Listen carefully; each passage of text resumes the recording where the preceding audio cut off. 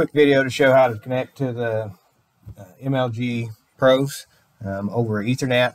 Um, I'm powering right now with a SI-Link box.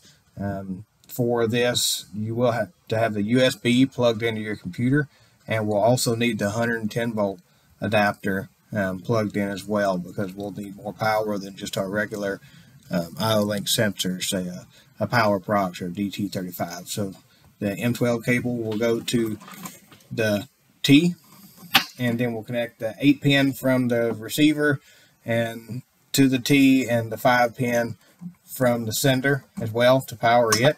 Um, I've also got on the receiver, I've got an Ethernet cable so I can connect over Ethernet. And I'll show you the purpose of why you would rather connect over Ethernet than IO link. So then I'll just open up SOPAS Engineering Tool. And once SOPAS opens up, then it'll reach out and start looking for the devices. It'll look over Ethernet and over IO link. So once it connects, I should have two different connections to the MLG2. Um, one of them will be COM8, which is over IO link, and the other one will be over Ethernet.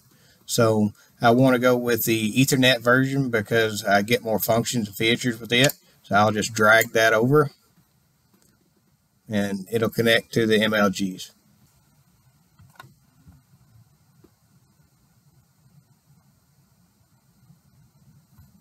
And once it connects, then I'll just read parameters. Now that I've got that open, I don't need a password. I can just double click on it.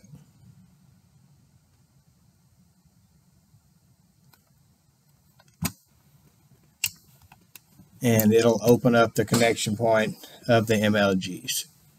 So that's how you connect over um, Ethernet to a set of MLGs probes. Um, now, if I had a the different, I was on a different subnet, the IP address was different. Um, say I was on 192.168.1.50 on my computer, and the Webcheckers are on 192.168.200.50, then I wouldn't be able to talk.